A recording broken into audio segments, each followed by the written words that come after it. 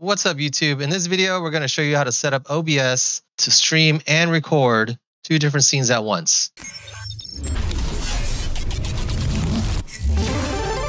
If you search for this, you probably have your own reasons. If not, you might want to stream, but also have some clean footage later to use. I'm going to assume that you already have OBS installed. What you're going to want to do next is download the NDI plugin. I'll also put the link down in the description. We're going to go to the NDI plugin page, go to download, grab the one that's for your operating system. Uh, I have Windows, so I'm going to use the Windows installer. Once you have it installed, we're going to have to make a copy of your OBS folder. Uh, if you don't know where it is, uh, easiest way is just to go to the shortcut, open file location. Let's go to properties, open file location. And we actually want the whole folder. So we're going to go up to folders. We're just going to copy all this here. Go to the desktop. You can put this anywhere but the program files folder. I'm going to put it on the desktop for this example here. I'm going to call it OBS Portable. Space all that stuff in here. Okay. Let's go to the bin folder. 64-bit if you, you're using a 64-bit machine. And let's make a shortcut to the executable. All right.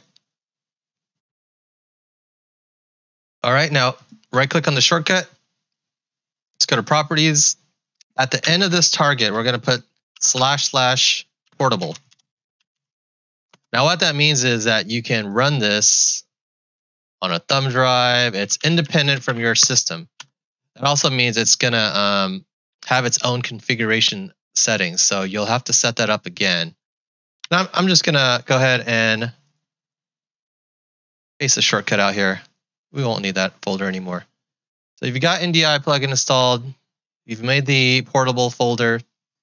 Okay, so now that we have the portable version of OBS up and running, we're going to add a scene and a source.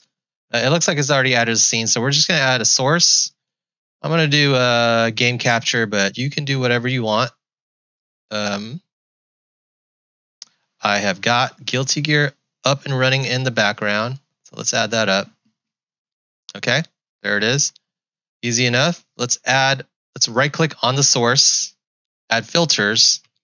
And I've got to make this smaller because I'm recording in 720 just so you can see everything. Go to the plus sign and we're going to add dedicated NDI output. I'm going to go ahead and name this clean footage. You name it whatever you want. Also, don't forget to mute the mic if uh, you're not trying to record yourself on the uh, clean footage. Um, you can go ahead and start recording if you want to. All right, so let's go to our main OBS instance uh, here. Over here, I've got my overlay, I've got my alerts, and I'll show you that the alerts work. Um, let me just do a emulation. All right, that's kind of loud. It's kind of loud. Let me turn that down. So uh, let's add a source. We're going to add an NDI source.